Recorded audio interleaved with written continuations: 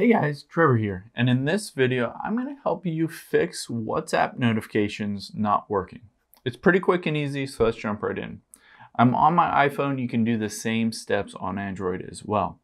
Now, let's get into our settings and we'll go through a bunch of different settings to make sure those notifications are working.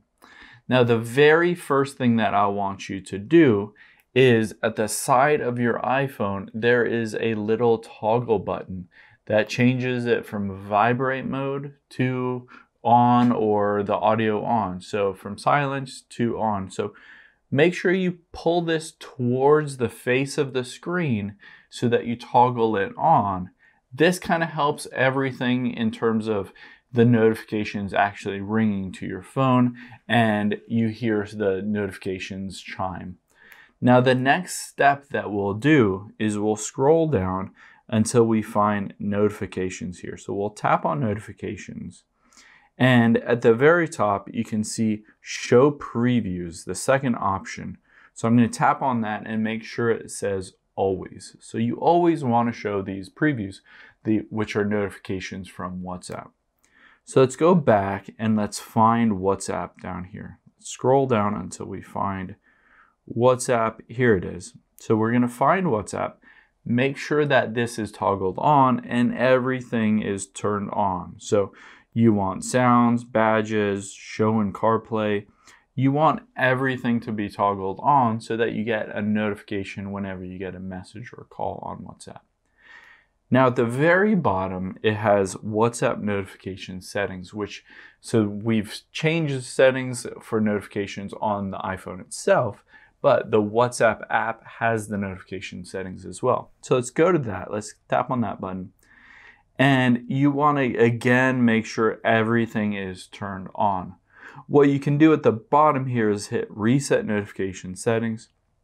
This kind of resets everything to be toggled on so that you can make sure it's not an issue within the WhatsApp app itself.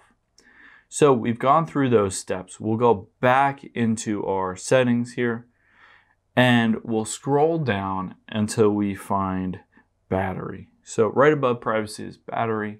The next step is we're to make sure it's not low power mode turned on. So if low power mode is turned on, then it limits those notifications and those notifications getting to your iPhone. So make sure that is toggled off because that will prevent any kind of notifications. So once we've done that, that's a great step, is we will go into, let's see, general here. And then there it is, background app refresh, right under iPhone storage, background app refresh. And then we want to toggle this on. So change it to Wi-Fi and cellular data and go down until you find WhatsApp and make sure WhatsApp is toggled on. What this means is that even though WhatsApp might not be visually seen on your iPhone, WhatsApp can refresh any kind of messages that it gets and all that stuff. So it can use the cellular or Wi-Fi data to be able to get those messages and show you the notifications as they come to you.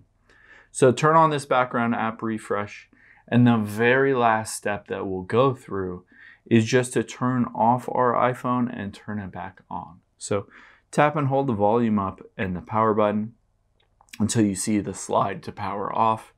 And then just go ahead and turn off your phone and then restart it, turn it back on. And that should help with those notifications. Go through all these steps and you should have your notifications working on WhatsApp. Hope this helps. Let us know if you have any questions in the comments below and make sure to subscribe. Thanks.